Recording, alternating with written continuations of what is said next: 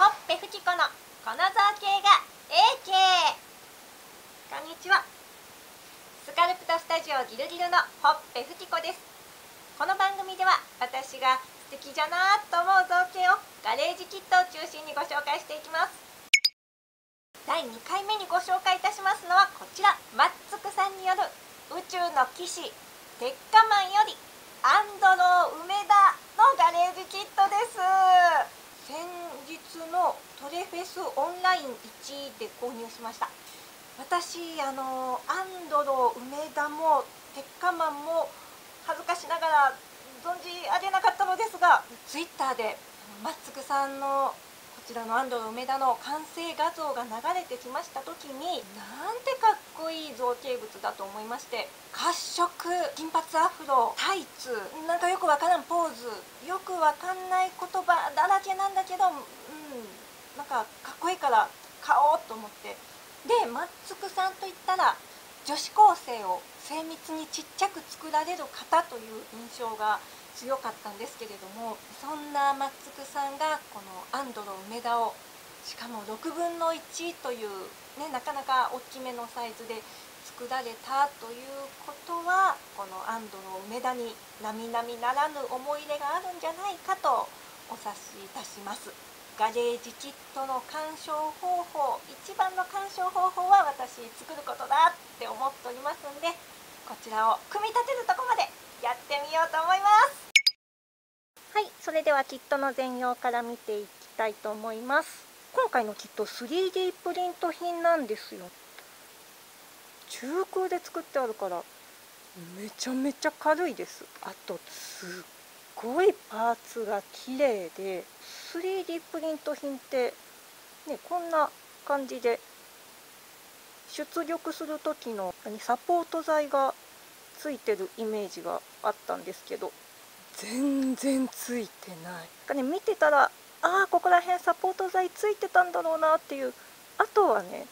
ところどころ見受けられるんですけどこれ多分おそらくマッツクさんが全部取ってくれてるんですよねあとね 3D プリント品ならではのこのバチってはまる。顔も目歯と分かれて塗るのも楽。インストもめちゃくちゃ丁寧なんですよね。分かりやすい。カラーリングのガイドもこういうの嬉しいわ。えここまでしてもらっていいのかな？っていうくらいもすごい綺麗です。今回使う道具はこんな感じです。あのきっときっかけで鉄火マン見ました。アンドロ梅田めちゃめちゃかっこいいですね。あの声が山田康夫さんルパン三世の声をなさってる方でもまず声がかっこいい。であとこの謎ポーズを鉄火マンっていうアニメの何がすごいってあの主人公が差別する側の人間なんですよね。もう宇宙人差別主義者といった感じ。アンドロは三能星人っていう宇宙人なんですよ、まあ、当然